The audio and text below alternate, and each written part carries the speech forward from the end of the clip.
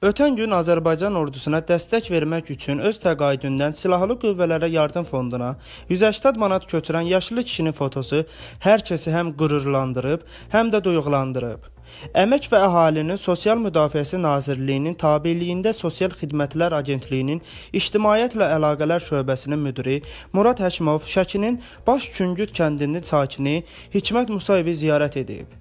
Hikmət Musayev qeyd edib ki, orduya bacardığı qədər dəstək olub. Ermənistan Müdafiə Nazirliyi növbəti dəfə Cəbrayıl istiqamətində güya bölmələrimizin itkilərə məruz qaldığı barədə dezinformasiya xarakterli məlumat yayıb.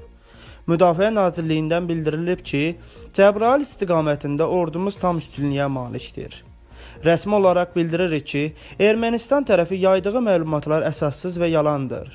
Cəbrayıl istiqamətində ordumuz əks hücum əməliyyatlarını uğurla davam etdirir və düşmən üzərində üstünlüyə malikdir.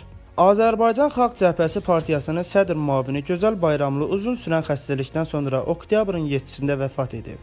Azərbaycan Xalq Cəbhəsi Partiyasından Bakı FM-ə verilən məlumata görə o onkoloji xəstəlikdən əziyyət çəkirdi. Keçmiş siyasi məhbus Gözəl Bayramlı hakimiyyətin təqiblərinə məruz qalıb və 2017-ci ildə qondarma qaçaqmalçılıq ittihamı ilə məhkum edilib. Ağır xəstə olan Gözəl Bayramlı həbsxanada 2 il keçirib. Vəziyyəti daha da pisləşib. 2019-cu ildə əfv edilib.